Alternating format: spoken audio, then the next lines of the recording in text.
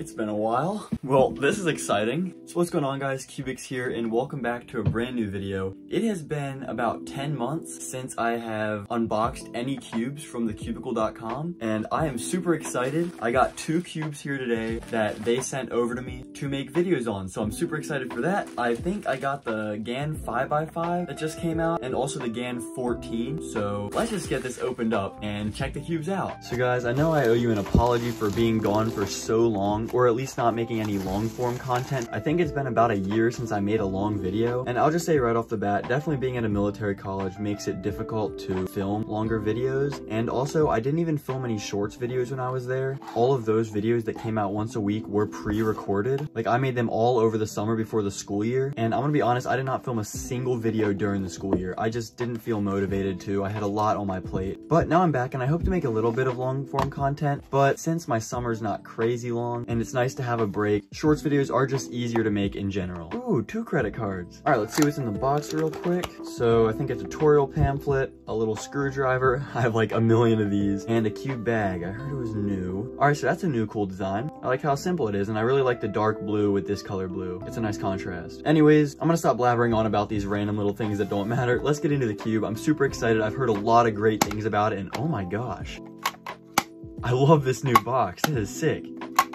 All right, so anyways, I've heard a lot of great things about this cube. I'm super excited to do some first turns and just give you my first impressions. Oh, wow. That feels super compact and so durable, like it will never pop. Right off the bat, it has a pretty buttery feeling, and I can tell the magnet strength on the inner layers is very sturdy. They're pretty light on the outer layers, but I noticed the inner layers are staying together very well, which I'm super happy about. Normally on 5x5s, when I try to do middle flicks, the layers get separated and it's very annoying, but these layers have not separated a single time since I started turning this, and I'm really, really enjoying the turning. The feel and sound is also very satisfying as well. Right now, it might be a little tight. I just hope there's a screw on the inside and not some weird nut system that I have to like figure out how to use. Okay, great. That's gonna be really easy to adjust. I think I'm actually gonna make it slightly looser right now just to see how flexible it can get while still maintaining the same inner layer compactness, if that's the right word. And I do definitely like that GAN's big cubes do not have the nuts on the inside. Oh wow, that is very tight. There we go. I think that's good. About one turn of the screw. I'll see how it works by doing that on every side.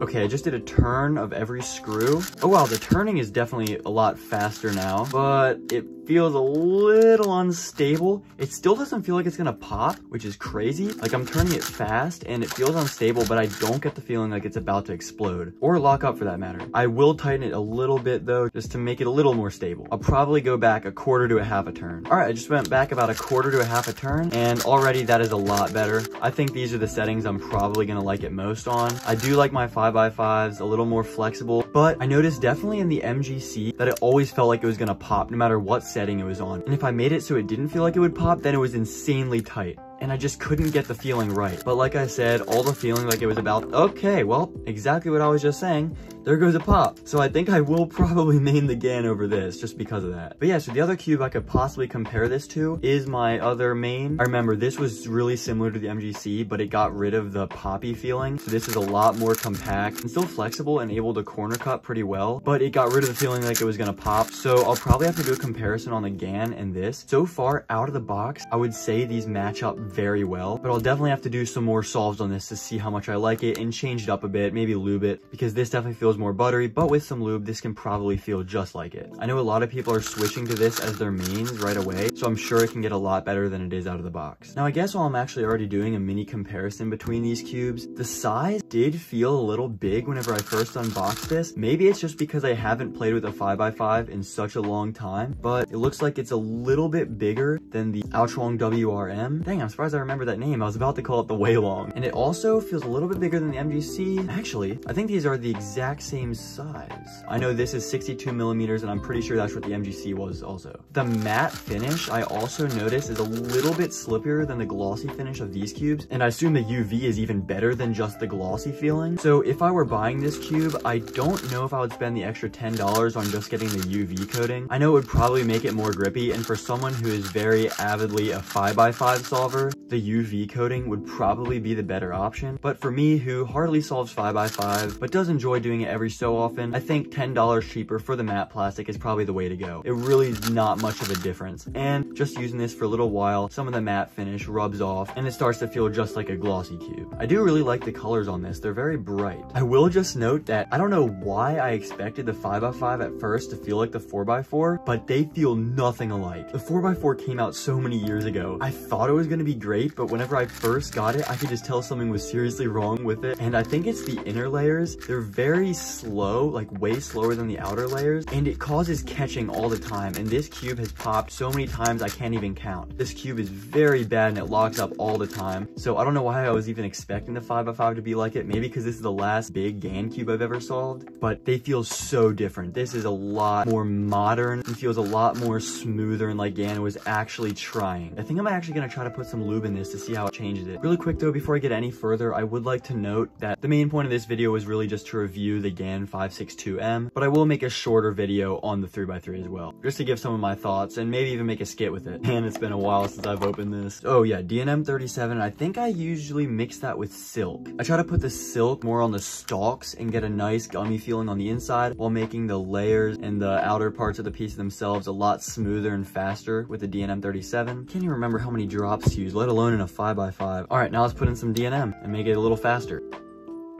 Whoa, right now that is very fast. I definitely need to work this in a bit. All right, so I played around with it for a few minutes and really worked in the lubes. And guys, let me tell you, this feels absolutely heavenly.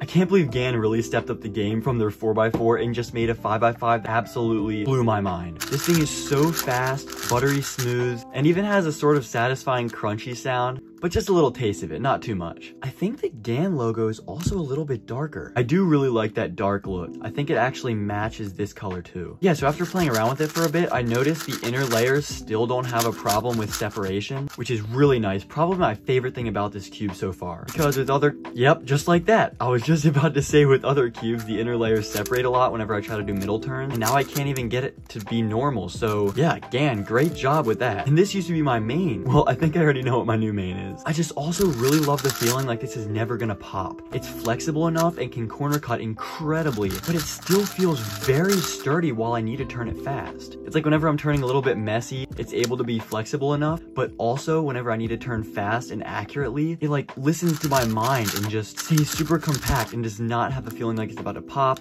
lock up, or have some really weird locky moves. I wanna point out that the size of this does feel slightly big. I wonder if GAN ever made a 60 millimeter one, just like the Aochuang WRM, it would fit my hands a little bit better. Now I know like two millimeters or however much that is, is hardly any difference, but whenever you're turning it fast, you really do notice it. And I have smaller hands, and so for other people with smaller hands just like me, the Aochuang feels absolutely amazing size-wise. And the GAN just feels a slight bit big, like I have to reach a little bit more than usual, which takes a little bit of time, and also just feels slightly bulky. But if they cut down the size a couple millimeters, that really might make a super nice difference. All right, I haven't done a solve in a really long time, but let's get out the timer if I can find it. And I'll do a little solve while talking about the sponsor of today's video. Okay guys, I haven't done a 5x5 solve in so long, so before you laugh, just know I'm completely out of practice, and I don't even remember which method I used. I think it'll come to me as soon as I start though. Okay, here we go. Three, two, one, go. Okay, so right before I do mention the sponsor of today's video, I do just want to bring up some of the specs of the cube. So the GAN 562M Matte Edition costs $58.99 on thecubicle.com. You can get that for 5% off if you use code Kewbix at checkout. The UV coated version is $67.99. The cube is 301 grams, it's magnetic, and is 62 millimeters. It also comes with a sick box, so why not get it, right? Anyways, this video would not have been possible without the support of thecubicle.com. So thank you so much to them for sponsoring today's video and the rest of the videos on this channel. The Cubicle is an incredible Rubik's Cube store, and it's only like the biggest and most popular store on the entire planet where you can get Rubik's Cubes of all varieties, shapes,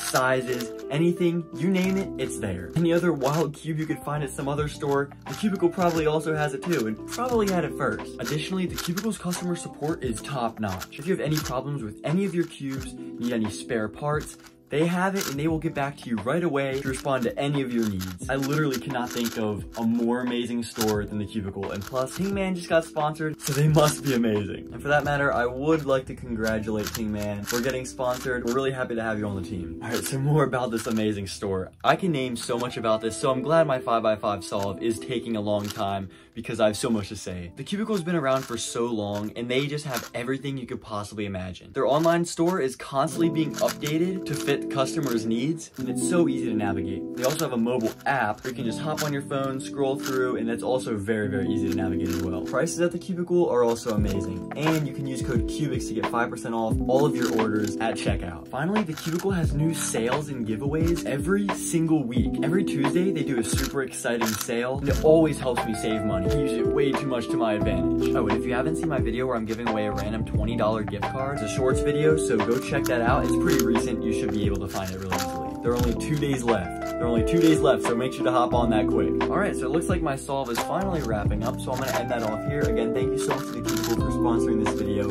I really could not make it without you guys. Let's get back to the video.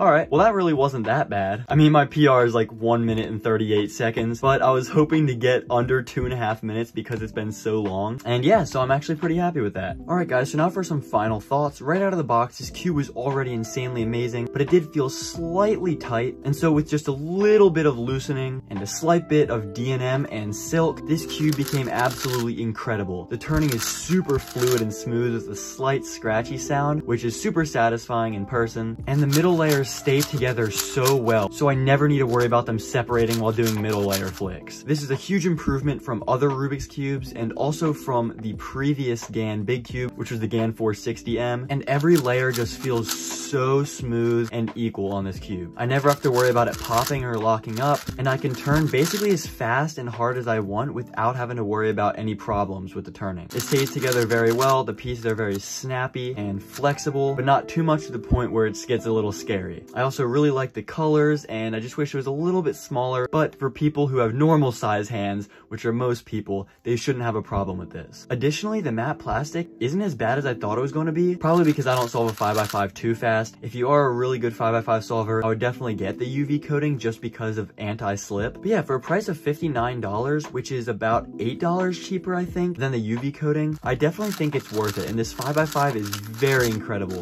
It's definitely a step up from the MG GC and the Aochuang WRM, which were my two previous mains, just mainly because of the fact that it does not pop or lock up or have problems with the middle layers separating like those cubes did. Yeah, it's super fast and fluid and really overall just a great experience. I really like that there's not much you have to do to set it up because while you can have a great range on some of the 3x3s that they have with all the different ways you can set it up like the edge magnets, the core magnets, the different nut strengths and all that stuff. I do like it being simpler and with the big cubes, I like there not being an insane amount that you have to worry about to set up. Just a little bit of lube and some tensioning with just plain screws is just enough for me. But yeah, that's really all I have to say about this cube. If you enjoyed this video, please give it a like and consider subscribing. If you want to see videos like this in the future, also comment down below some video suggestions for some more longer form videos that I could make in the future. But again, thank you so much to the Cubicle for sponsoring this video and thank you guys for watching and I'll see you guys in the next one. Peace.